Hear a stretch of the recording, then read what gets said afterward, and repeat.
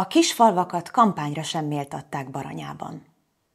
Nekünk mindegy ki van hatalmon, velünk úgysem foglalkozik senki. 2018 áprilisában hangzott el ez a mondat egy baranyai kis faluban, Kisvaszaron.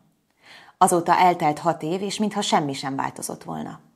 Most sem kereste senki az ott élőket, hogy megtudják, milyen gondokkal küzdködnek, mire lenne szükségük, mit üzennének az Európai Uniónak, vagy mivel tudna a legtöbbet segíteni a megyei közgyűlés. Ismét Kisvaszaron jártunk, ahol az első dolog, ami szembeütlik, az a kampány teljes hiánya. A nagyjából 300 fős baranyai faluban egyetlen lámpaoszlopról sem mosolyognak a választópolgárokra a helyi jelöltek. Senki nem buzdít, hogy szavazza békére, vagy adj új esélyt a régi pártnak az Európai Parlamentben. Nincs plakátokkal díszített tank a főtéren, a hirdető felületek üresek, az utcán sem sodor összegyűrt, leszakadt szórólapokat a szél. Mintha nem is választás lenne, csak egy átlagos nyári vasárnap délelőtt. A helyi kisüzletben, ami egyben dohánybolt és kocsma is, egymás után veszik a hidegüdítőt, cigarettát a vásárlók. Jönnek a faluból, a szomszédos községekből, ahol ilyenkor már nincs nyitva semmi. Vagy ahol egyáltalán nincs is semmi. Mindenki azt mondja, el fog menni választani, amikor erről faggatjuk őket. Szerintem a polgármester asszony jól végzi a dolgát. Persze lehetne jobban is, de ennél sokkal többet elérni itt nem lehet, mondja egyikük. Ami hiányzik, az a régi falusi élet. Nincsenek közösségi programok, bál, szüreti felvonulás, és nem hiszem, hogy ez csak pénzkérdése. Nálunk sem volt gyereknap, se falunap, veszi át a szót egy közeli község tékes lakója. Bezzeg a polgármester még hétvégén is a falubuszt használja a családjával. Az elmúlt öt évben nem csinált semmit, ezért is fogok egy másik jelöltre szavazni. Adok neki egy esélyt, hát ha ő többet tesz értünk.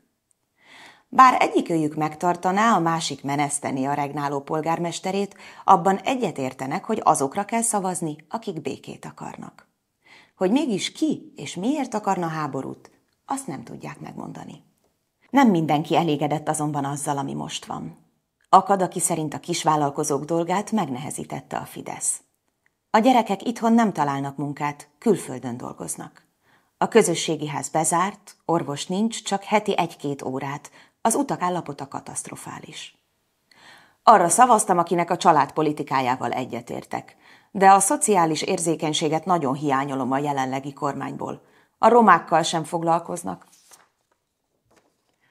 Azt hiszik, megszűnt a diszkrimináció, hogy minden rendben van, de amikor a férjem felhív egy céget, hogy van-e munka, csak addig örülnek neki, amíg el nem árulja a nevét. Ezt már a 200 fős tékes egyik lakója mondja, mikor megállítjuk az utcán. Hozzáteszi ugyanakkor, hogy szerinte mással sem lenne jobb. Már nem bízunk a politikusokban. Nem volt itt senki kampányolni. De ha jött is volna, akkor is annyira érdektelen lenne a sok üres ígéret, mintha én azt mondanám, krumplilevest főztem tegnap.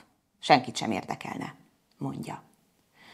Azzal sem foglalkozik senki, hogy néhány környékbeli cég kizsákmányolja azokat, akiknek nincs más választásuk, mint elfogadni a napi bejelentést, a hajnaltól estig tartó munkát, a megalázóan alacsony munkabért.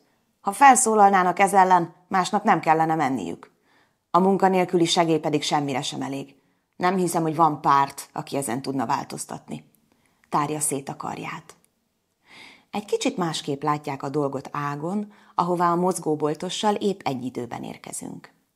A községben mindössze 150 választópolgár él, és egyetlen jelölt indul a polgármesteri székért.